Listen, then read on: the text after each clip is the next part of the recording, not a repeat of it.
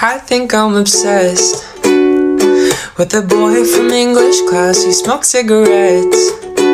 With two big arms filled up with tats, I want him so bad. So I've been getting detention slips to see him after class. Cause I want his attention quick.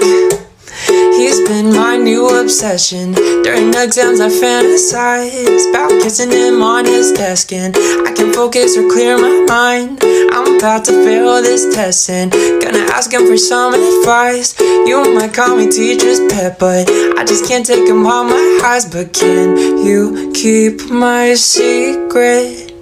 I don't think you'll believe it. Cause I've fallen into love her